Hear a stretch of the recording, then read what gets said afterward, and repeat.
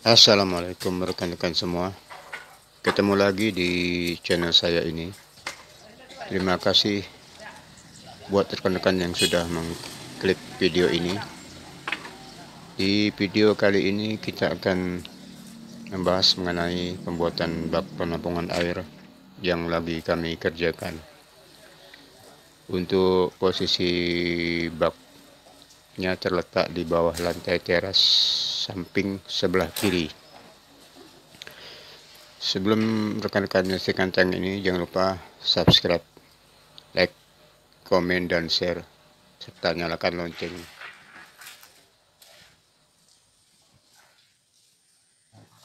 Rencana bak penampungan air akan dibuat sesuai dengan RAB yang telah kita sepakati bersama pemilik rumah.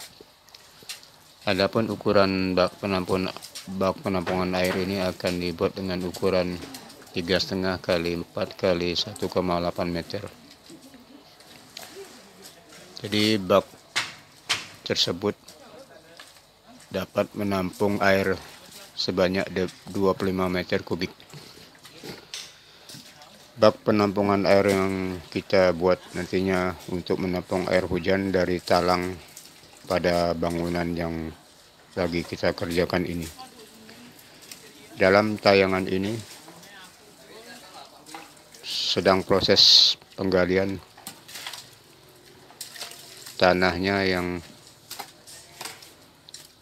akan kita gali sedalam 1,1 meter dari tanah asal untuk tinggi lantai bangunan dari tanah asal 1 meter. Setelah proses penggalian ini untuk selanjutnya itu pemancangan cerucuk kemudian pasir uruk pasir dan lantai kerja.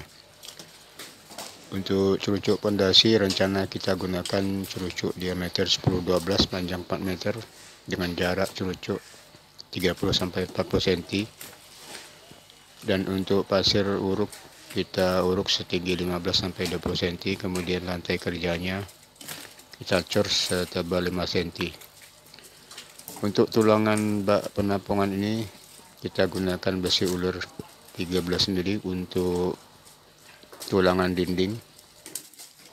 Dan lantainya besi polos 10 mili dipasang dua lapis kemudian untuk ketebalan coran lantainya 15 cm dan untuk dinding ketebalan 12 cm